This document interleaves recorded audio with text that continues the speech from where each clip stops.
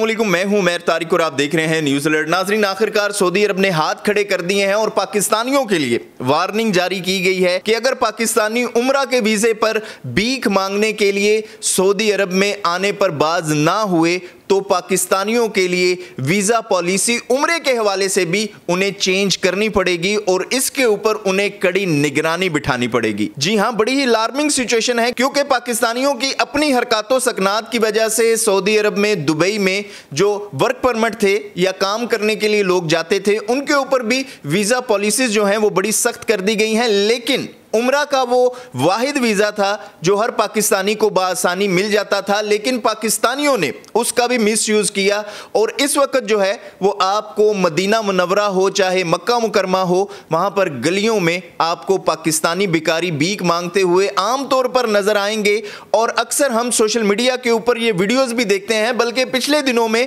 एक इंडियन खातून ने एक वीडियो बनाकर सोशल मीडिया के ऊपर अपलोड की, जिसमें उसने कहा जी कि यहाँ पर पाकिस्तानी बिकारी भीख मांगने आए हुए हुए हैं, लेकिन जब उनसे पूछा जाता है कि वो किस मुल्क से हैं तो वो इंडिया का नाम लेकर बताते हैं, और जब उस खातून ने मजीद तहकीक की तो वह खातून खुद मान भी गई कि वो पाकिस्तान से ही आई है। बल्कि मेरे भाई जो है, वो पिछले दिनों में उम्र करने के लिए गए थे, उनके साथ ये बात डिस्कस हुई, उन्होंने भी ये चीज़ ऑब्ज़र्व की तो उन्होंने बताया जी कि आप मदीना मनवरा और मक्का मुकरमा को तो छोड़ ही दें। गार हिरा जिस तक पहुँचना जो है, वो बड़ा मुशक्क़त भरा काम है एक आम आदमी के लिए। उसने वहाँ पर एक पाकिस्तानी को बीक मांगते हुए देखा, जो कि एक टांग से माजूर था और अब आप ये सोचें कि वो पाकिस्तानी जो है वो भीख मांगने के लिए इतना कठिन रास्ता तय करके ऊपर कैसे पहुँचा होगा और उसकी रूटीन यही है कि वो रोज़ ऊपर आता है और रोज़ वहाँ से पैदल चल के नीचे भी उतरता है। तो ये सूरत हाल है इस वक्त पाकिस्तान की और आपको बताता चलूँ कि सऊदी वजारत हज उम्र की जानब से पाकिस्तानी वजारत मजहबी अमूर को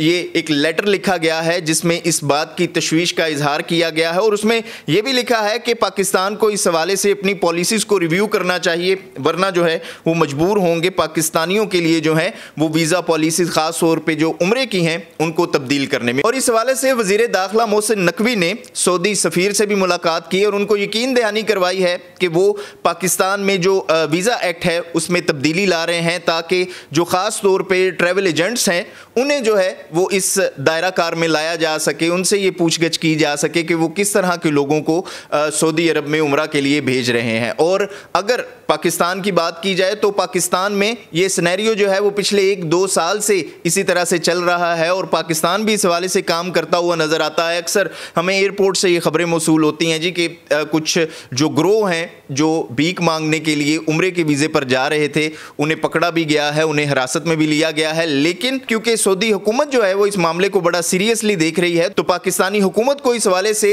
कोई ना कोई लाहे अमल ज़रूर तय करना पड़ेगा। वरना पाकिस्तानियों के लिए हज उम्र जो है, वो भी बड़ा मुश्किल होता हुआ नज़र आएगा। और ज़ाहिर सी बात है कि इसमें हुकूमत को जो है, वो कोई ना कोई किरदार लाजमी अदा करना चाहिए, क्योंकि ये लोग जो हैं, वो जहाज़ पर बैठ के ही जाते हैं, समुंदर में तैर कर या डंकी लगा कर तो नहीं जाते। आप इस हवाले से क्या राय रखते हैं? कमेंट बॉक्स में अपनी राय का इजहार ज़रूर कीजिएगा। देखते रहिएगा न्यूज़ अलर्ट।